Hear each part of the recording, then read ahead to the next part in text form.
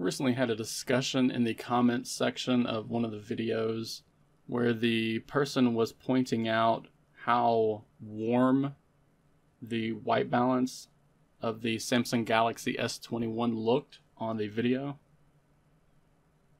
And I just wanted to make a very quick video to reply to that, but also show a feature in the Samsung One UI firmware on the Galaxy S21 series, as well as most modern Galaxy phones.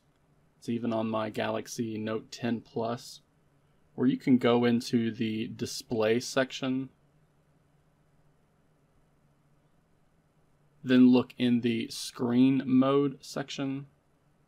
And right here, you're going to find a white balance slider, which by default is set to the middle, which honestly, from, from my preference, is a bit too warm.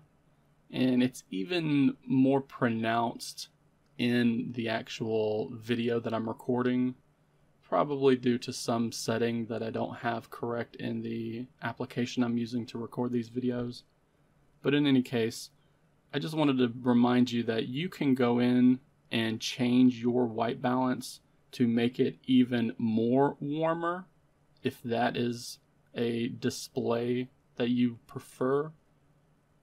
Or you can set it to be more blue, to be colder, cooler, by just moving that slider onto the left.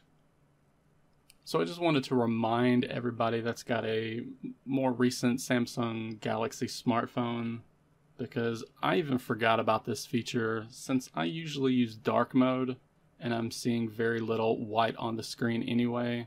So the actual white balance that the display is calibrated to isn't something I typically notice in general.